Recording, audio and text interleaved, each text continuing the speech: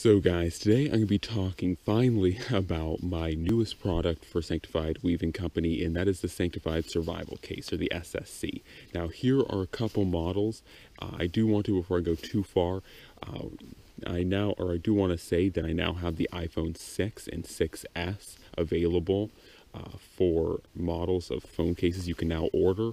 Also, if you want to see these phone cases, uh, it's fully survivaled out, check the video link in the description because I actually, with the prototype, showed how I built a survival survival kit for it. For the sake of this video, none of these have survival cases or survival kits in them, just because I'm going to be removing the phones. I don't want a whole bunch of content spilling all over the place.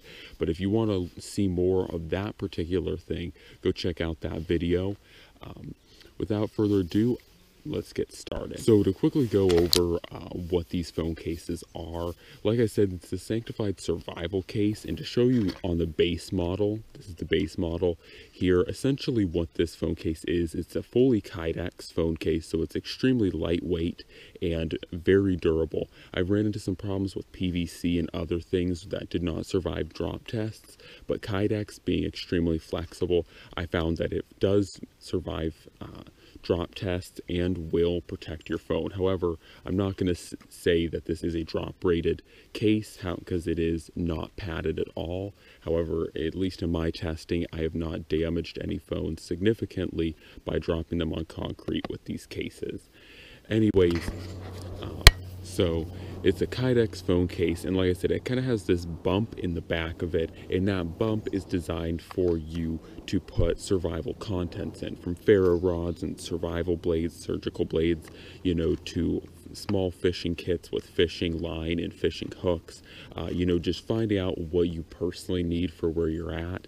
Uh, and it allows you to pack just a few essentials. It's not going to be a gigantic kit, but it could really help you and improve your chances for survival just because you know it helps at least you have a ferro rod on you and you know some kind of striker for it or at least you have a few fishing hooks and a, a line or at least you have you know some snare wire or just something that's small but really really useful. Now of course i will be or I hope to eventually send these with survival kits pre-made, but at this current point, I really don't have enough survival gear to send these with that option, but hopefully, like I said, I will in the future, but that would be really awesome. Um, for the now though, I'm kind of just leaving up to you guys. Have fun with it and definitely make some videos. If you want to show your phone case survival kit, I will share it. But anyways, that is essentially the base phone case. Now, in addition to that, I also do the paracord strap option, which is what this and this one have. And this paracord strap the reason why I do this, I do it for a few reasons. There's about three reasons I do it. One, to go with along with the whole survival case or survival kit theme, this adds about five and a half feet of paracord to your survival kit. So that is really nice because early on I was finding is that it was really hard, especially paracord, it was really hard to put cordage in this little survival bump here. So what I found was that if I could just conveniently add this paracord strap, it would give you five and a half feet of paracord very conveniently. But in addition to that, it also is a really nice handhold for your phone. And once again, you know, you can hold your phone um, with this strap without even having to hold the phone. This makes it really nice if you are prone to dropping your phone or if you run and hit something, you know, uh, and this is in your hand, regardless to if you're physically holding the phone or not, with this paracord strap, you are not going to drop the phone. In addition to this, uh, I have placed all these paracord straps in convenient places to hit all the buttons. As you can see here, I can hit most of the buttons except for the home button because this phone's just a little too large for that. But aside from that, you can hit all the other buttons and the home button can be easily hit with your second hand. In addition to that, the other benefit is that properly placed, this paracord strap can act like kind of a kickstand, as you can see here, and that allows you to just set your phone on something if you just want to be able to, uh, you know, like watch a YouTube video without you having to hold the phone. It still holds the phone at about a 45 degree angle. As well, though, you can bend it in, and that's kind of its design, so that when you want to put it in your pocket, this is not going to be a large, obnoxious piece. It's going to bend right down. And once again, when you set it on things, you can bend it down as well. That's how this one is as well. So really nice and very unobtrusive.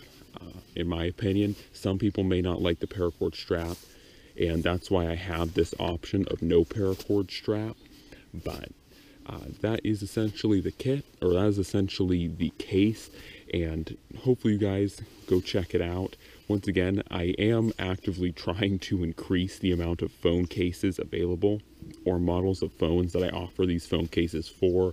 But if you guys have a particular phone that you want this case made for, definitely always contact me eh, before placing an order. And if you want to contribute a phone model, that would be extremely appreciated, especially some of the newer phones like the iPhone 7 and the Samsung S7 uh, would be highly appreciated to get my hands on and make phone cases for. So if you can contribute one, definitely hit me up as well. I would love to make phone cases for them. But anyways, guys, that's it for now. And don't forget to comment, like, share, subscribe. And once again, I kind of apologize that the GoPro is having to be used here. I am working on getting another tripod. So the main camera will be up eventually. But anyways, guys, that's it for now. And I'm out.